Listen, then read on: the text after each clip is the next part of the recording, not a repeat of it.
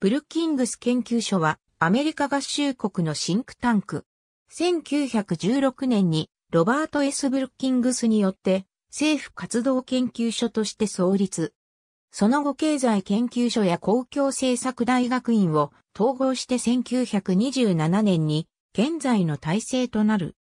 フランクリン・ルーズベルトがニューディール政策を実行する際にはその叔父にあたるフレデリック・デラーノが理事会長だった関係でその政策形成に深く関わり、世界大恐慌の分析から大企業の河川や資本集中、投機から生産能力が有効に使われず格差拡大をもたらしたと指摘した全4部からなる調査報告書をまとめ上げた。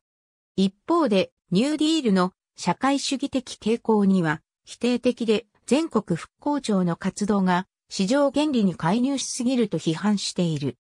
戦後は国際連合の原型となった国際組織構築のための戦後対外政策諮問委員会への参画や議会予算局の設置に関わっている。中道、リベラル系のシンクタンクとして長い伝統と実績を残していて、特に民主党政権には政策的な影響を及ぼすとともに人材を輩出してきた。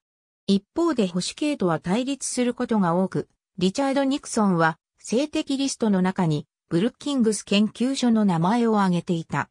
一方で、アメリカ同時多発テロ後には、ジョージ・スタインバーグとマイケル・オハンロンが中心となって、国内での対テロ対策を強調した対テロ戦略構想をまとめている。